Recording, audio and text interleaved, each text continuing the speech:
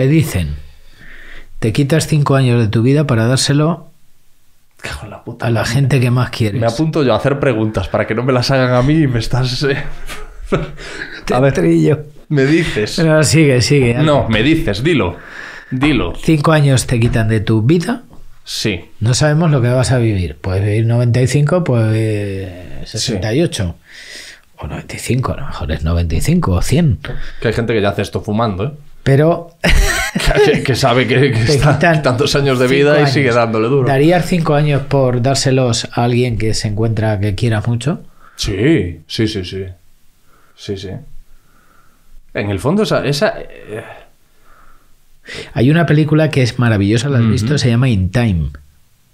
Que tiene el tiempo aquí en el brazo. Justin Timberlake Sí, es el sí. protagonista. Está la sí. peli súper bien, tío. Y entonces se pasan tiempo. Es Cobran verdad, en sí. tiempo. eh, Trabajan para, para coger el tiempo. Hay uno que tiene ciento y pico de años.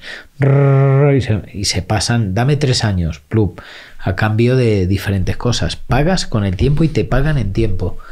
Está súper bien. Eh, es, es lo más valioso. Algo así pasa cuando donas. Cuando donas a alguien un riñón, ¿no? sí, o algo claro. así. Dices, en principio, si no vida, calidad de vida me puedo quitar. O... Hay, hay historias de algún padre o madre ejemplar que se han quitado un riñón para dárselo a, pues, a un hijo o a, o a un hermano. O sea, se han dado casos de estos, ¿eh? Yo me quito el sombrero. No, no, hay amigos que lo han hecho. Y amigos por ir tan- amigos. Sí, sí. Es tremendo. Por eso te digo, el ser humano es capaz de las mayores eh, barbaridades, pero también de las mayores loas. Es ¿Sabes qué me, me estoy dando cuenta de que me haces preguntas y luego sales corriendo? ¿Sabes? No dices, no me preguntas y luego dices, pues yo creo que. Ah, que, Me dejas a mí vendido, que claro. no me moje. Claro. No, pero yo sí, hombre, daría cinco años, claro que los hubiera dado. Ya mis padres no están, por ejemplo, pero los hubiera dado, seguro. Dos años y medio para cada uno. Pero ya no están.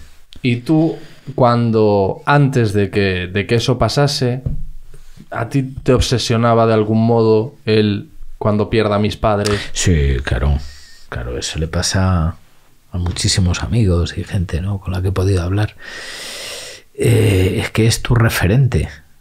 O sea, cuando te cortan el cordón umbilical realmente. O sea, es ahí cuando te lo cortan. Cuando pierdes a tus padres te quedas flotando en el vacío, en el espacio, diciendo, bueno, estoy solo.